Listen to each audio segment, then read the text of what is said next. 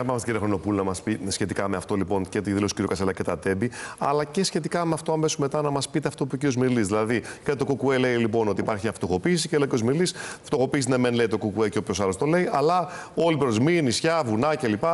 τη μεγάλη εβδομάδα ήταν γεμάτη. Άρα έχω αρκετό χρόνο τώρα γιατί είναι δύο διαφορετικά. είναι δύο, ναι, ναι. ναι. Καταρχάς με το ζήτημα των τεμπών, εμείς εξ αρχής, σαν Κομμουνιστικό Κόμμα, είχαμε αναδείξει το ζήτημα και των πολιτικών ευθυνών και κυρίως των πολιτικών ευθυνών που υπάρχουν από την, ε, λόγω της απελευθέρωσης των σιδηροδρόμων που δεδομένου ότι έχοντας σαν κριτήριο το κέρδος, δεν μπορούν να παρέχουν μέτρα ασφαλείας και αποδείχθηκε και από τα πορίσματα της Εξεταστικής Επιτροπής, την οποία πρότεινε ε, το Κομμουνιστικό Κόμμα. Ήταν πάρα πολύ ενδιαφέροντα τα πορίσματα και καταθέσαμε και στη συνέχεια και ξεχωριστό πόρισμα που αναδεικνύει όλα αυτά τα ζητήματα. Είναι χαρακτηριστικό ότι με, συνολικά στην Ευρωπαϊκή Ένωση το 87% του σιδηροδρομικού δικτύου δεν, δεν έχει συστήματα ασφαλείας.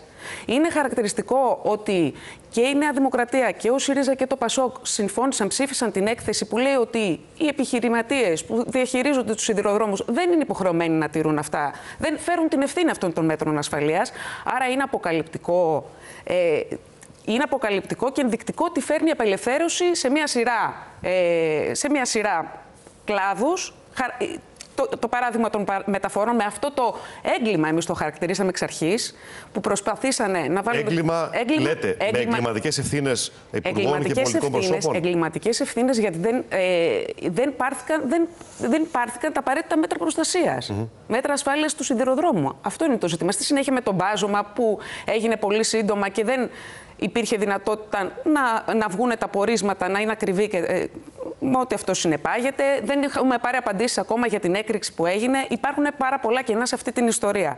Ε, τώρα σε συνέ... Και βέβαια γι' αυτό βγήκε και ο κόσμος τόσο μαζικό στον δρόμο. Ναι. Και πέρσι στις 28 Φλεβάρι και φέτος στις 28 Φλεβάρι, ε, στις 20... ναι. κινητοποίηση του Μαρτίου. Και διεκδίκησε αυτό το πράγμα. Δεν μπορεί να μπαίνει το κόστος κριτήριο για τις ζωές μας. Τώρα σε σχέση με τη φτωχοποίηση. Δεν θα ναι. κρίνω τώρα αν πόσοι πήγαν οι διακοπές στο Πάσχα, αν πήγαν στα χωριά τους, τι χαλάσανε και τα, τα στοιχεία είναι πολύ συγκεκριμένα. Δηλαδή; Και σε σχέση με τους μισθούς. Υπάρχει μια σημαντική μείωση του μέσου μισθού ε, σε σχέση και με το 2011 που είναι 15% κάτω τώρα και σε σχέση με το 2009 που είναι 26% κάτω τώρα. Υπάρχει, ε, ε, πανηγυρίζει η κυβέρνηση και για αύξηση στο δημόσιο και για αύξηση στον ιδιωτικό τομέα που σε καμία περίπτωση δεν μπορούν να καλύψουν τις ανάγκες, το ύψος της ακρίβειας που υπάρχει αυτή τη στιγμή, καθώς επίσης και το γεγονός ότι υπάρχει αιματηρή φορολογία για τους εργαζόμενους, Υπάρχουν ε, και έμεση φόροι τεράστιοι και για τα καύσιμα και για την ενέργεια και οι άμεση φόροι. Άκουσα και πριν το θέμα που είχατε για τη φορολόγηση. Ναι. Και το, το μεγάλο ποσοστό της φορολογίας καλύπτεται από τους ε, μισθωτούς, από τους εργαζόμενους. Ωραία. Έχουμε σε λίγες μέρες, Δευτέρας συγκεκριμένα, σήμερα Τετάρτη, σε πέντε μέρες από τώρα, έχουμε την επίσκεψη ε, Μητσοτάκη στην Άγκυρα και τη συνάντηση με τον Ερντογάν. Το Κουκουέ πώς το βλέπει αυτό; Υπάρχει μία τέλος πάντων, ας το πούμε, καταλλαγή στα λειτουργικά, το οποίο όμως τελευταία βλέπουμε και κάποια πράγματα πράγματα που δεν μας αρέσουν, όπως αυτό με τη μονή της χώρας ή τις ασκήσεις στο Αιγαίο ή και κάποια άλλα πράγματα. Καλά, δεν θεωρούμε ότι υπάρχει καταλλαγή στα, στα ελληνοτουρκικά και μάλιστα ε, μας ανησυχεί και ιδιαίτερα αυτή η επίσκεψη δεδομένης και της επιθετικότητας της Τουρκίας που όπως είπατε και εσείς με αυτό το με ένα παράδειγμα είναι η ναι. μετατροπή σε τζαμί ε, της Εκκλησίας, της ιστορικής. Είναι ένα άλλο παράδειγμα οι δηλώσεις της Τουρκίας που είχαν προηγηθεί το προηγούμενο διάστημα, λέω πέρα από τις πάγιες διεκδικήσεις που θέτει στο τραπέζι των διαπραγματεύσεων.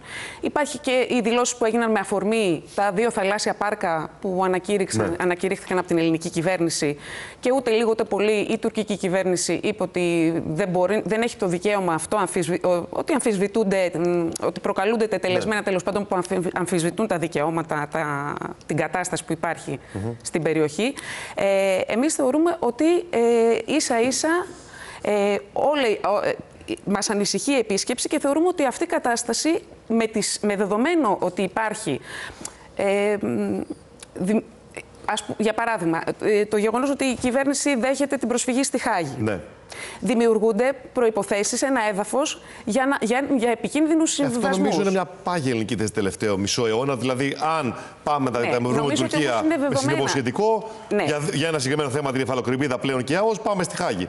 Ε, ναι, έχουμε φτάσει σιγά σιγά να αμφισβητούνται. Λέω, λέω γιατί τι γίνεται. Ε, υπάρχουν, είναι με το δίκαιο της θάλασσας, με το, με, Ναι. Είναι δεδομένα και τα σύνορα και, και τα Ναι. θαλάσσια και τα.